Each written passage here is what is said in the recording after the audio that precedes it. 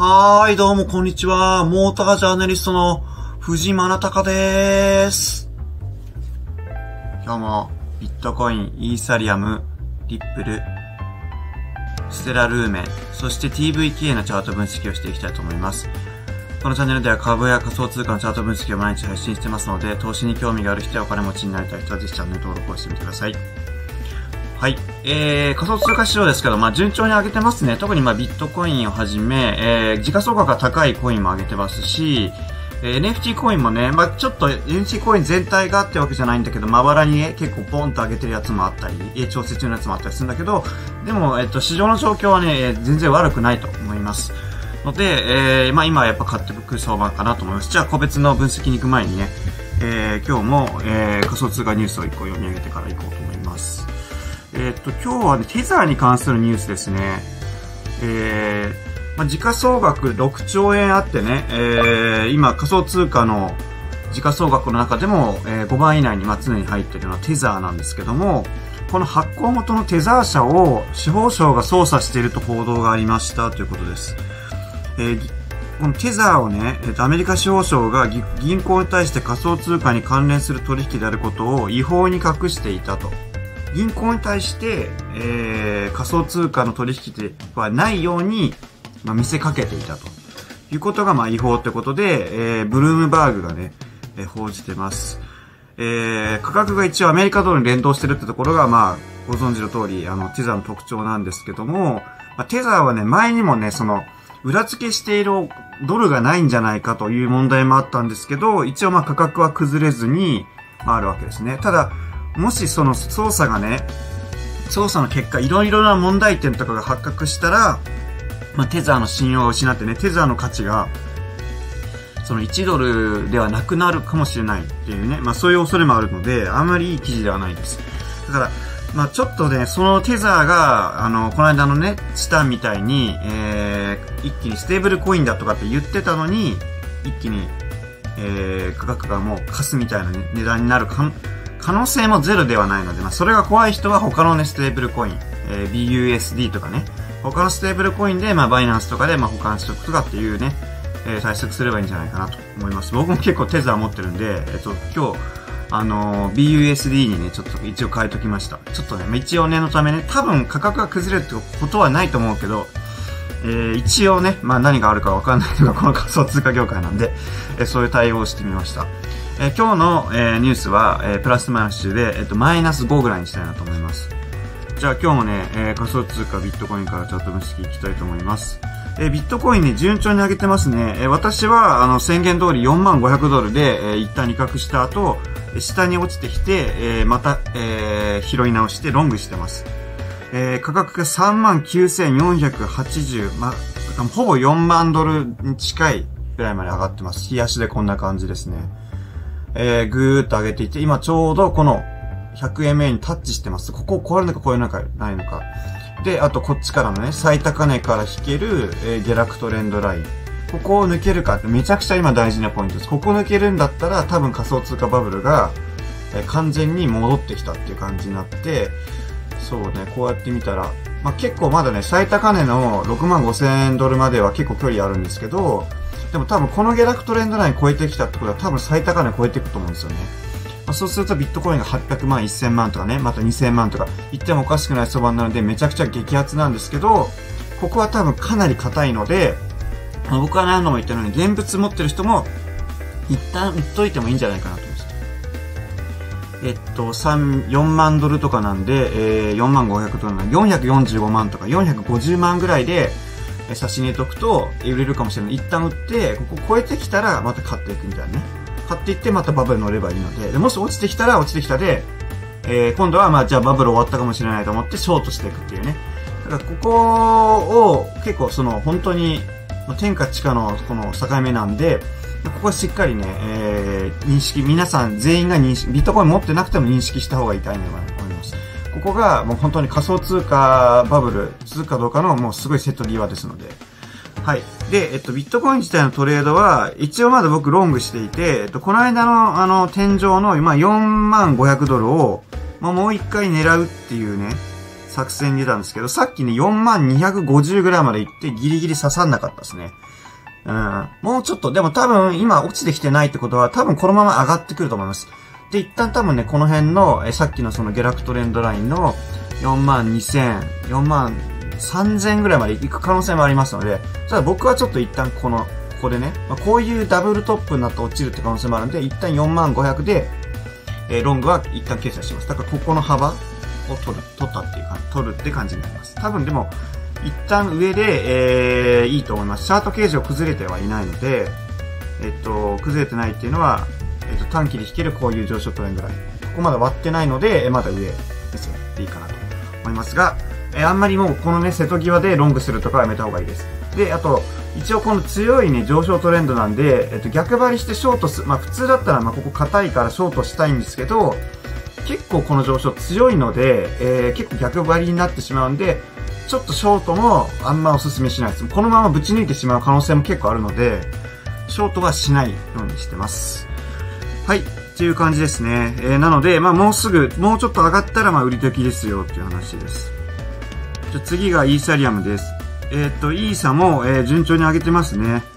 えー、イーサはもうすぐね、まあハードフォークもあるし、えー、やっぱり変わりやすいと思います。あのー、イーロンマスクも持ってるって宣言したしね。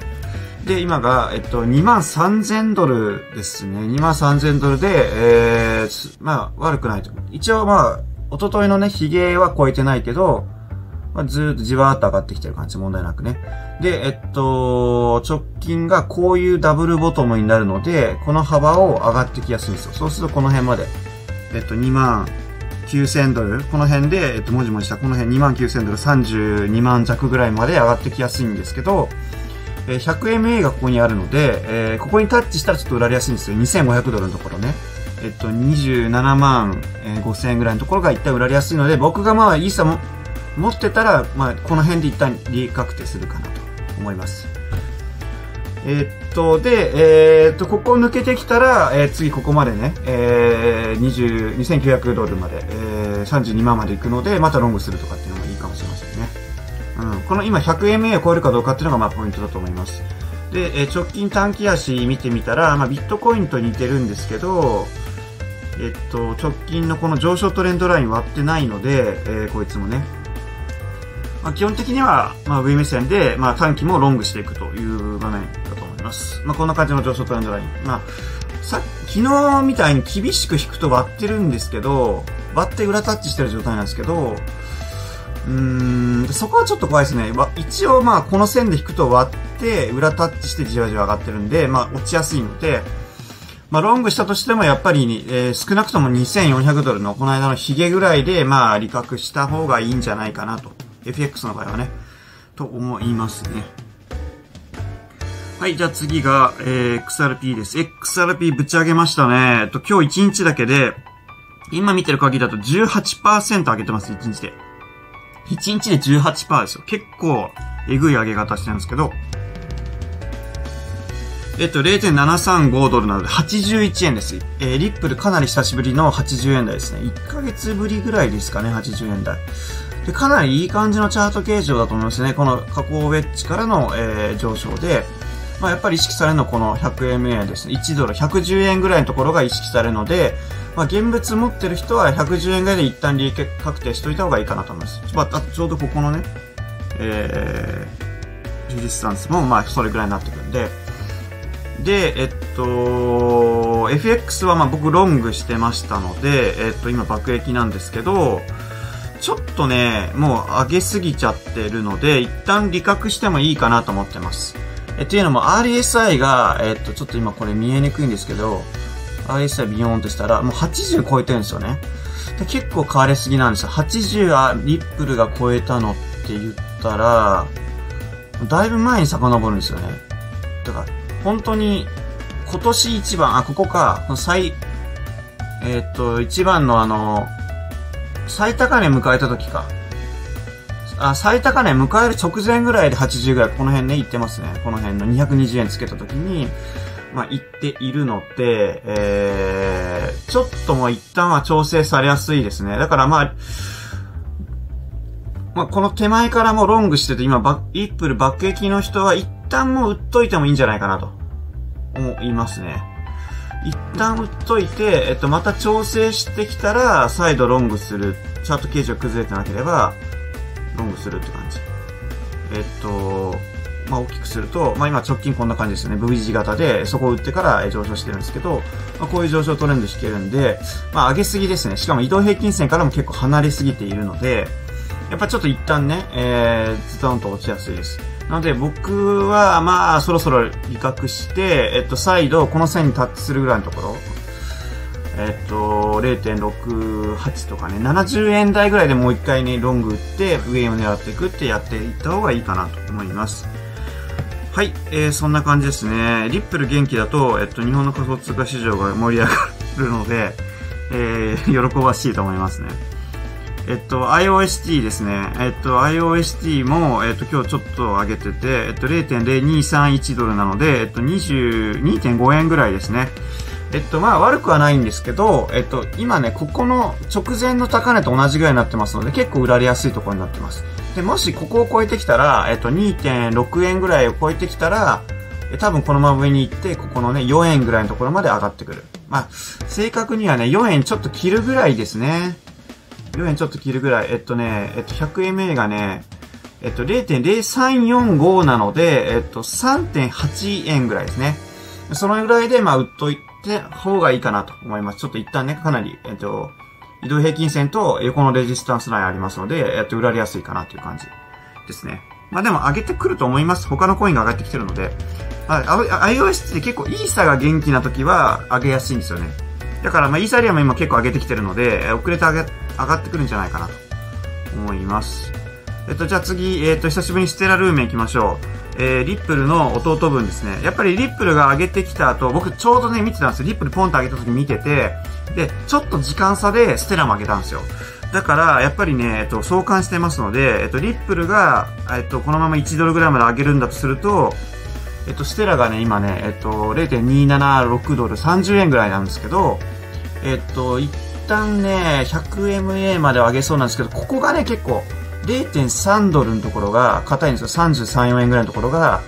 ここで2回、えー、サポートされてるし、ここでもサポート、サポート、ここもサポート、って感じで結構ね、0.3ドルって結構、今までレジサポラインとして機能してるんで、ここを超えれるかどうかっていうのがまあ一つポイントですね。ここを超えたら多分この 100MA の、えっと、0. 0.39ドルかな？だから42、1円ぐらいまでは上がってくるんじゃないかなと思いますね。まあ、本当の上昇はこの 100MA 抜いてから、ボンってね、上げるような上昇あるかもしれないですけど、まだちょっとわからないね。一回この 100MA タッチするけどまたさ下がってくるみたいなのあるんで、まあ、ステラ持ってる人は、だからまあ35円ぐらいから41円ぐらいまでの間で一旦利確してもいいんじゃないかなと思います。はい。じゃあ次が、えっと、テラバーチャーですね。T、TVK。TVK 少し前に、えっと、僕が買った方がいいよっていう、まあね、えっと、NFT コインなのかな ?NFT コインになります。バイナンスで買えるので、買ってみたい人は、バイナンス登録してみてください。動画の説明欄にリンクがあります。で、テレバーチャーなんですけど、順調に上げてますね、冷やしでね、こんな感じで、えっと、多分僕が買った方がいいって言ったのはこの辺なんですよ。で、一回調整してしまったんだけど、で、しっかり高値更新してるんで、でもかなり強い上昇トレンドなんですよね。で、えっと、こいつは、えっと、まあ、上昇トレンド綺麗に描いてるのもあるんだけど、えっと、出来高ですよね。出来高の上げ方がエグいんですよ。ここの最高値迎えた時出来高入ってるんですよ。っていうことは、今、この辺よりもさらに注目されてるってことは、結構上げていくんじゃないかなと思います。まあ、ひたしたらこの最高値の、えっと、1.3ドル超えぐらい。今ね、えっと、0.23ドルなので、えっと、25円ぐらいなんですよ。で、25円ぐらいで最高値が150円ぐらいなんで、今買って最高値まで行くとすると、まあ、5倍ぐらい取れるわけですよね。で、今初動みたいな感じで、えっと、ボーンってね、出来高入ってきて上げてるので、今ぐらいから仕込んどくと、下手したらまあ、5倍ぐらい取れるかもしれないという感じですね。で、こいつは100円目超えているんですよ、もうすでに。だから、えっと、もう結構まあ上昇トレンドになってきているって感じ。ちょっと念のためね、200MA をね、えー、見ておこうかな。僕もさっきテラバーチャーね、えっと、現物また仕込みました。おしめ買いしましたね。200MA に、あ、200MA に今タッチしたとこですね。うん、綺麗にタッチとか、だから意識されてるんです。200MA もここなんですけど、ちょうどタッチしたとこなんですよ、これ。だからここを超えるかどうかっていうのはめちゃくちゃポイントなんだけど、多分超えると思う。この強い出来高見る限りはね。で、えー、で、直近、まあ、何が言いたいかっていうと、結論ね、今日買うのがいいと思う。こいつは。おしめ、ちょうどおしめっぽいんですよ。えっと、4時間足で見てみたら分かりやすいんですけど、4時間足で、えっと、この間ね、えっと、調整したところからこうやって引くと、こう一回おしめ作ったって感じで、今もう結構この上昇トレンドに近づいてるので、この辺から買っとくとこのままで上昇トレンド乗れるかもしれませんので、僕はさっき買いました。えっと、さっきね、えっと、1000万円分買いましたね。えっと、9万、9万 US ドルテザーなんで1000万円ぐらい買いました。買って、まあ、しばらく持っとこうかなと思います。多分高値更新していくんじゃないかなと思いますので、テラバーチャは今めちゃくちゃおすすめの、えー、コインになります。えっと、あとね、もう一個注意すべき、えー、レジスタンスラインが、ここですね、0.29ぐらいですね。ここ一回ね、えっと、最高値からダダダーって流れが落ちてきて、サポートしたところ。で、えっと、ここを割ってからレジスタンスしたここの0.29ドルのところは、レジサポラインとして機能しやすいので、あ、ちょっと画面が止まっちゃった。あ、こんな感じ。一旦ちょっとここで利確が入るかもしれませんが、そうだね。でも、この角度なんで、抜けるんじゃないかなと思います。うん。と思いますけどね。はい。そんな感じです。えー、今日もね、あ、ちょっと今日長くなってしまったけど、えー、チャート分析してみました。今日の動画が役に立ったという方はぜひチャンネル登録と動画のグッドボタンお願いします。そして動画の説明欄にある、えー、仮想通貨取引所は、えー、僕のおすすめの取引所になります。えー、日本の取引所であればコインチェックとビットバンク。これは日本円の出金用に登録しておいた方がいいと思います。そして、えー、メインの現物の口座はバイナンスがおすすめですけども、まあ、バイナンスの規制が結構いろいろ入ってきているので、えー、使えなくなると怖いという人は、シンガポールのビットゲットに移すのもおすすめです。えまたは FX と現物両方ができる FTX もおすすめです。そして、えー、FX も挑戦してみたいという方は手数料が安いバイビットがおすすめなんでぜひ登録をしてみてください。最後までご視聴ありがとうございました。藤原でした。また明日。いろんな仮想通貨をトレードしてみたい人は、シンガポールの取引所のビットゲットもおすすめです。えビットゲットは世界第5位の大きな取引所になっていて、50種類以上の仮想通貨の現物取引と、20種類以上の仮想通貨の FX 取引ができます。特に FX 取引は上級者のトレードをそのままコピーするっていうコピートレード機能、コピートレがあって、それがなんとね、ワンタップでできるっていうのが便利です。動画の説明欄のリンクから口座登録すれば500円相当のドルがもらえるのと、手数料が永年10%オフになります。そして、えー、初めて入金した人は5%のキャッシュバックがあって、最大ね、5500円分の US ドルテザーが、えー、もらえます。ぜひ登録してみてください。この動画の説明欄、またはこちらの QR コードにある私の LINE 公式アカウントでは、株や仮想通貨、そしてお金に関するお得な情報を見つけたら配信しておりますので、ぜひ友達申請をしてみてください。そして、えー、Twitter や Instagram についても、えー、やっておりますので、この説明欄のリンクからフォローしてみてください。えー、チャンネル登録はこちらから、そしておすすめ動画はこちらです。最後までご視聴ありがとうございました。藤間でした。